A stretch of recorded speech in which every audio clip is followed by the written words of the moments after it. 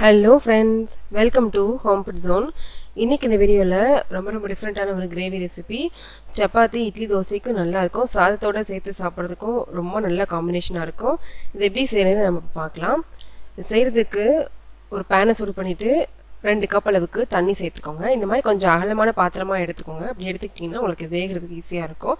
ஒரு கால் டீஸ்பூன் அளவு உப்பு சேர்த்துக்கோங்க. உப்பு சேர்த்து ஒரு தடவை நல்லா கலந்துக்கோங்க. தண்ணி நல்லா அந்த அளவுக்கு கொதிச்சு வந்ததும் இப்போ ஸ்டவ்வை வந்து லோ ஃப்ளேமில் வச்சுட்டு நான் வந்து நாலு முட்டை எடுத்திருக்கேன். உங்கள் கிரேவிக்கு எத்தனை முட்டை தேவையோ அத்தனை முட்டை நீங்கள் எடுத்துக்கலாம். நாலு முட்டையை இந்த மாதிரி பேனில் உள்ளே நம்ம சேர்த்துக்கலாம். கொஞ்சம் இந்த மாதிரி கேப் விட்டு கேப் விட்டு சேர்த்துக்கோங்க. ஒன்று மேலே ஒன்று சேர்த்துடாமல் கொஞ்சம் தள்ளி தள்ளி சேர்த்துக்கிட்டிங்கன்னா உங்களுக்கு வேகிறது கரெக்டாக இருக்கும். முட்டை சேர்க்கும் போது அடுப்பை நல்லா கம்ப்ளீட்டாக லோ ஃப்ளேமில் வைக்கணும்.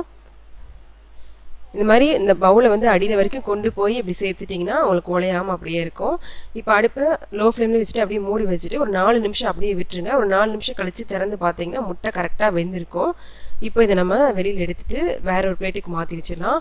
இது செய்கிறதுக்காக ஒரு மிக்ஸி ஜார் எடுத்துக்கோங்க. இதில் வந்து ஒரு பத்து பல் பூண்டு நல்லா ரெண்டு இன்ச் அளவுக்கு இஞ்சி பத்து சின்ன வெங்காயம் சேர்த்துக்கோங்க. இது வந்து தண்ணி எதுவும் சேர்க்காம அரைச்சிக்கோங்க. கொஞ்சம் கோர்ஸாக இருக்கிற மாதிரி இந்த மாதிரி அரைச்சி எடுத்துக்கோங்க.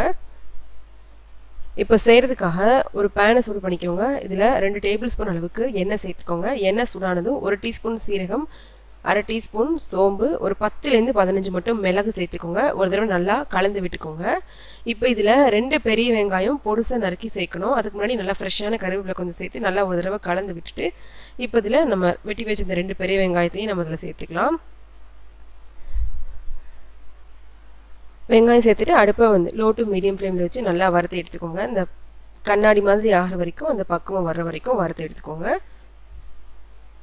வெங்காயம் ஓரளவு வறுபட்டதும் இது கூடவே அரை டீஸ்பூன் அளவுக்கு உப்பு சேர்த்துக்கோங்க. கூடவே நம்ம அரைச்சி வச்சுருந்த அந்த இஞ்சி பூண்டு வெங்காயம் பேஸ்ட்டையும் நம்ம சேர்த்து நல்லா கலந்துக்கலாம். அது எல்லாமே பச்சை வாசனை போகிற வரைக்கும் லோ ஃப்ளேமில் வச்சு நல்லா கலந்து விட்டுக்கணும். ஓரளவு நல்லா பச்சை வாசனையெல்லாம் போனதும் இதில் சேர்க்கறதுக்காக ரெண்டு பெரிய தக்காளி இந்த மாதிரி கட் பண்ணி எடுத்திருக்கேன். சின்ன சின்ன தக்காளியாக இருந்தால் அதுக்கேற்ற மாதிரி நீங்கள் வந்து மூணு இல்லை நாலு அந்த மாதிரி எடுத்துக்கோங்க. பெருசாக இருந்தால் ரெண்டு எடுத்துக்கோங்க. இந்த ரெண்டு தக்காளியும் சேர்த்துட்டு அடுப்பு வந்து மீடியம் ஃப்ளேமில் வச்சு நல்லா வந்து ஒரு தடவை கலந்து விட்டுட்டு இப்போ இதை மூடி வச்சுட்டு ஒரு ரெண்டு நிமிஷம் அப்படியே விட்டுருங்க. அப்படியே விட்டுட்டிங்கன்னா தக்காளி வந்து சீக்கிரமாக வதங்கிடும். இப்போ திறந்து பார்த்தா நல்லா தக்காளி வந்து வதங்கியிருக்கும். இப்போ வந்து லேசாக அந்த மாதிரி கரண்டி வச்சு இந்த தக்காளியை ஒன்று ரெண்டு அந்த மாதிரி மசிச்சு விட்டுக்கோங்க. தக்காளி எல்லாம் நல்லா மசிச்சுட்டு ஒரு தடவை அந்த மசாலாவை கலந்ததுக்கப்புறமா இதில் நம்ம தேவையான மிளகாய் பொடியெல்லாம் சேர்க்கலாம். வந்து ஒரு டீஸ்பூன் மிளகாத்தூள் அரை டீஸ்பூன் கரம் மசாலா கால் டீஸ்பூன் மஞ்சள் தூள் சேர்த்துருக்கேன். நீங்கள் உங்கள் டேஸ்ட்டுக்கு ஏற்ற மாதிரி எந்த மசாலா வேணாலும் மாற்றி சேர்க்குறதா இருந்தாலும் சேர்த்துக்கலாம்.